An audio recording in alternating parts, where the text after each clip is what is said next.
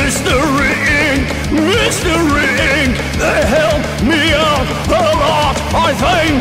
Mystery Inc., Mystery Inc., they help me out a lot, I think. There's a dog named Scooby and some other guys, and I said I write them a song.